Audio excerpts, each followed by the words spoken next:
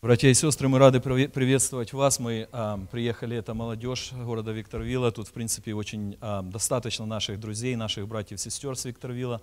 Мы рады приветствовать вас в этот день подяки, в этот день благодарения. Я вспоминаю один случай.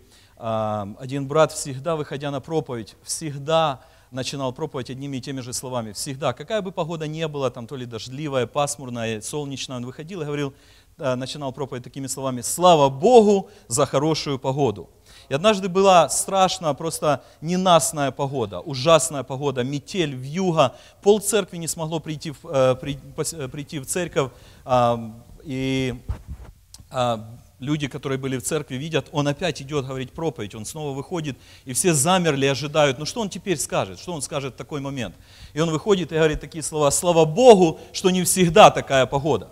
И вот я так подумал, Библия говорит, что а, апостол Павел Тимофею пишет такие слова, великое приобретение быть благочестивым и довольным. Довольство, оно, оно практически открывает для, для нас новую, новые возможности или новый взгляд на жизнь. И я часто на работе, я думаю, многие из вас также с этим сталкиваются, когда приходите, очень тяжелый день, нехороший день, приходите, вы всем говорите «доброе утро», и все говорят, что в нем доброго? Что в нем доброго? И а, я с одним парнем разговаривал и говорю, что он, я спрашиваю у него, как дела? Он говорит, могло бы быть и лучше. И начал мне рассказывать, как насколько плохие дела. И он спрашивает, а у тебя как дела? Я ему тут же говорю, могло бы быть и хуже. Он остановился говорит, ты знаешь, that's totally different perspective. Это совершенно другой взгляд на жизнь. Могло бы быть и хуже. И поэтому великое приобретение быть благочестивым и довольным. И также Псалом, я вспоминаю 49-й Псалом, 23 стих, а, Давид говорит такие слова, «Кто приносит в жертву хвалу, тот чтит меня». Слово «хвала» в английском, в украинском переводе звучит как благодарность, подяку, thank you, praise. А, это, это, э, у нас на работе также один парень работает со славянскими корнями, как бы с Югославии, и у них до сих пор в, югос, ну, в этом э, сербском языке, когда они благодарят тебя, вот за что-то он благодарит, он говорит «хвала, браты» он, хвала это, это благодарность, это, это э, подяка. Поэтому, кто приносит жертву благодарность, тот чтит меня, говорит Господь. Если подумать, я заканчиваю, если подумать, каждый человек, если покопается в себе, если захочет, а, каждый человек найдет за что роптать на Бога. У каждого из нас найдутся претензии, что-то пошло не по-моему, что-то не так, как я хотел, что-то не так, как я планировал. Но в тот же, в тот же самый момент каждый человек, если подумает, разберется в себе, в той же самой ситуации у каждого из нас есть за что хвалить Бога. И выбор лишь за тобой – Тебе не могут этого навязать ни церковь, никто. Выбор за тобой. Церковь лишь призывает к тому, чтобы мы чтили, хвалили Господа. Сейчас также а, у нас а, очень короткая программа. Мы выслушаем стихотворение, после чего мы, мы выслушаем псалом. Но перед тем, как вы, а, спеть псалом, я хотел бы выразить благодарность вашей группе прославления, которые сегодня принесли такую жертву ради нас. А, готовились, к, а вот также этот псалом совпал, готовилась и ваша группа прославления. Но мы благодарим за то, что вы позволили, а, позволили нашей молодежи исполнить. Пусть Господь благословит. Цей день подяки хочеться сказати, що все моє життя в Твоїх руках, і всі мої прибутки, навіть втрати, контролював Ти в прожитих роках. Радіє моє серце, що від Тебе не раз приймав я благості дари. Ніколи в їжі я не мав потреби, хоча тобі про це не говорив. Я славлю тебе, Боже, кожну днину, бо Ти для мене світ цей сотворив.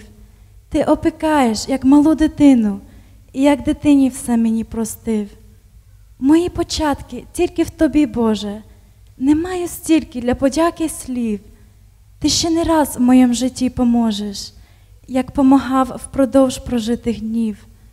Я дякую тобі, мій самогутній, за те, що можу тебе прославляти в щасливі дні мої і навіть в смутні, все, що ти дав мені, для тебе віддавати. Амінь.